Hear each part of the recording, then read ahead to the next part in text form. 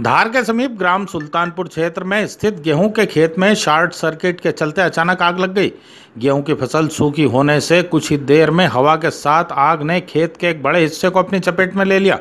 प्राप्त जानकारी के अनुसार सुल्तानपुर के समीप मारोल निवासी मदन एवं एक अन्य किसान के लगभग चार बीघा में लगी गेहूँ की फ़सल आग की चपेट में आई है।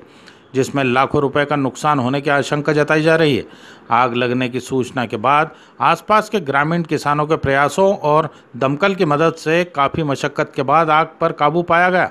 वहीं भीषण आग के चलते चार बीघा की फ़सल जलने के बाद किसानों के चेहरों पर मायूसी नज़र आई।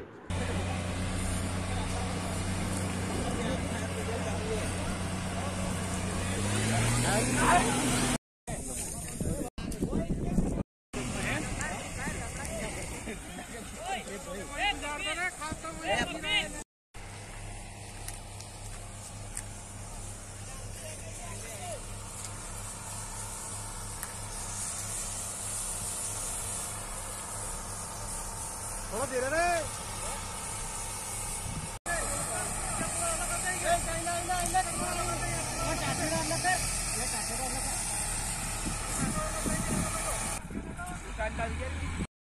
क्या बिजली फाल रही लाइट? कैस- कैसे खबर लगी आपको? देख ली थी हमारे गाँव से। गाँव से देख ली थी। तो बुझी। गाँव वाला आया फायर ब्रिगेड टाइम पे आ गई थी? नहीं आई थी बुझाए बाद आई थी। कितने बीघे खेत का नुकसान हुआ? करीब है बीघा है करीब।